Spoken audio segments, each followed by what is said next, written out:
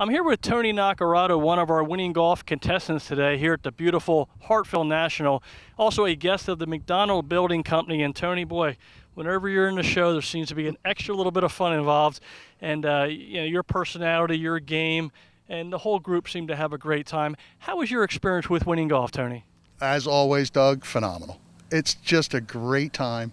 You're out with your friends or your business associates or whomever, and it's a relaxed feeling. We all have fun. We're all cheering for each other. The camaraderie's great.